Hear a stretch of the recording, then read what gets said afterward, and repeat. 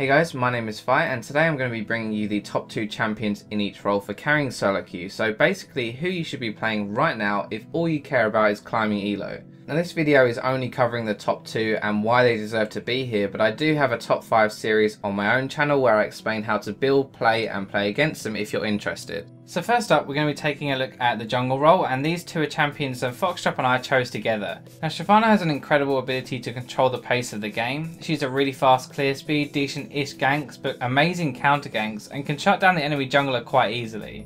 So farming is definitely one of her biggest strengths and you're really going to feel it most mid game when you group up to team fight. The farm you've accumulated will mean that you're basically like a second, slightly weaker top laner and you can do a lot of damage still. Now firstly Shyvana does a lot of damage naturally so you can just kind of build tanky items which makes it really difficult for an AD to deal with. Not only this, but by the time the enemy AD finally does put you on low health, then you can just W your way and it's really hard to finish off the kill. Now ganks may not be the best because of her lack of CC and gap closer, but she's great at counter ganking. If they've already committed to a fight, then you can just run in and there are very few, if any, champions that can duel her one on one. Taking the number one jungle spot right now is Evelynn. So Eve has always been pretty strong, but there are quite a few reasons why she's such a problem right now. So let's just tick off the most obvious one first of all and talk about the vision changes. Pink wards are now visible and if your laners are paying any attention at all they should be able to spot where they're placed and clear them pretty quickly. This means it's really hard to know where Eve is and even if you aren't in the lane it makes them play more passive because you could be right there. The threat of being ganked forces teams to play differently and it's a whole new playstyle when you have to play against an Eve. Now secondly, the new jungle items that grant gold mean that you can be more aggressive early and not really be punished for it. Now Eve can spend a lot of her first double buff duration ganking and even if she doesn't pick up a kill, she can just spend a bit of extra time farming to catch back up. This kind of no risk style means that it's really hard to shut Eve down. So next up we're going to be looking at my main role, the AD carries. So in second place now we have Sivir. Now her ult is really strong, she lanes decently well against anyone and has a lot of damage.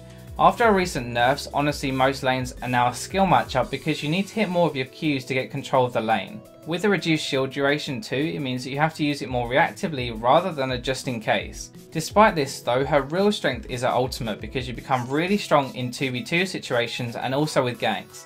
Now in a 2v2 situation, if the enemy laner steps out of position at all, you can ult and catch them really easily.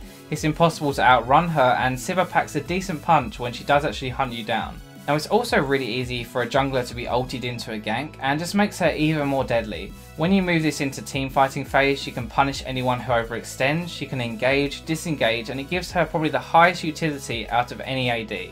Now arguably the best AD right now is Jinx and she's just so strong. She's a really good late game and in my opinion that's her strongest phase but then she has ability to win lanes too. She has a great attack speed steroid on her Q, even though her base attack speed is pretty low, or she can have great range and AoE. Now when you combine that with an AoE execute ultimate and a root, it becomes a really deadly combination. Now Jinx does suffer from having no escape, and that means that she can be shut down in team fights and a lane phase quite easily. The increased range on her Q means that her lane phase is actually really strong as she can poke while the enemy comes to CS. She is going to eventually run out of mana, but in the meantime she does a butt ton of damage without taking much in return. Now in my eyes her W is more of a utility spell than damage since the nerf and it's really good for starting fights and setting up ganks. Now just how Sivir can speed up your jungler, you can slow down the enemy and allow your jungler to catch back up. So next up we have our mid laners and we'll start with Ziggs. Now Ziggs has great lane control, a great team fight, amazing burst and is a really strong lane bully as well. His passive and Q is a lot of his damage early and it makes trading with him extremely difficult.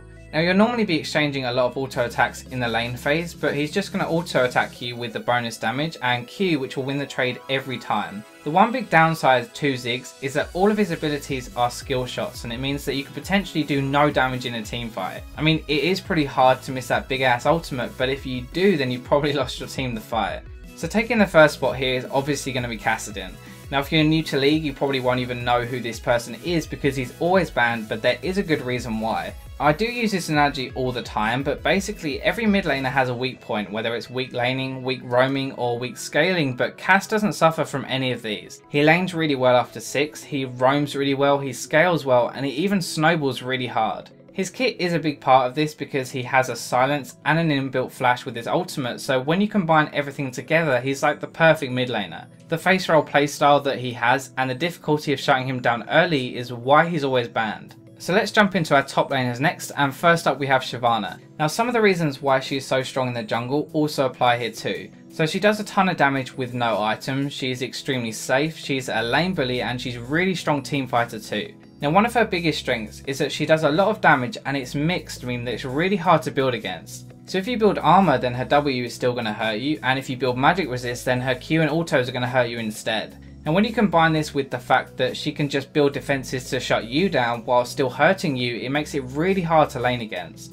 And because she doesn't need offensive items to do damage, it's also very hard to completely shut her down. Even if you do beat her in lane, she's most likely going to outscale you by mid game and that's one of the scariest things about her. So the best top laner right now is going to be Mundo.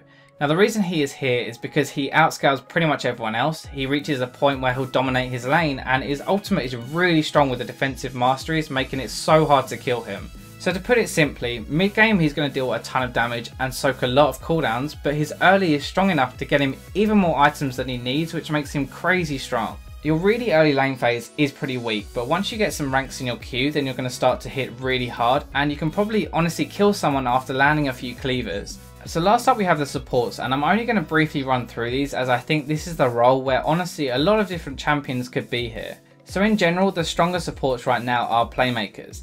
They're the supports that can initiate and have high impacts in the lane phase and team fights. Now these are two examples of what I mean right now and I'll run through why I've highlighted each one. So Leona has two forms of CC, she's naturally very tanky, she has a high impact ultimate and actually does a lot of damage with her passive. She can control the lane and punish the enemy AD extremely hard for being out of position. When you combine this with the incredible kill potential at level 6, it's hard not to come out on top after the lane phase. Defense is pretty cheap right now too, so once she does get ahead, she tends to become very hard to kill and that's extremely strong for team fights.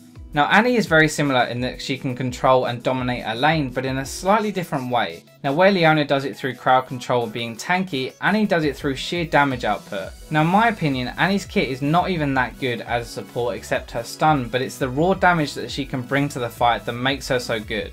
Now it's not really uncommon for her to be able to almost kill an AD in a single rotation with a couple of items and that's just really hard to deal with. You can then take that lead that she's likely to gain and bring it into team fights where she can still have a huge impact and really turn the tides of a fight on her own. So thanks for watching the video guys, please do like and subscribe to Fox here and if you enjoyed it then make sure you come and check out my own personal channel. I put out 3 to 4 videos a week and it'd be great to see you over there. That's all for this time so I'll catch you in my next video.